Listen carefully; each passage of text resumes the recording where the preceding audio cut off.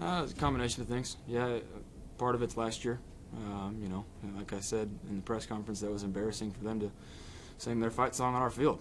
You know, they probably feel the same way right now. Uh, but then, yeah, we, we, we've had that mood in the locker room that nobody believes in us. You know, the guys, we were able to catch, you know, the fact that nobody picked us on GameDay. Uh, we were able to, you know, you see it in social media throughout the week that, I mean, they were about 80% of the country voted for Ohio State to win. And so, uh, right now, uh, we believe in ourselves, and quite frankly, that's all that matters.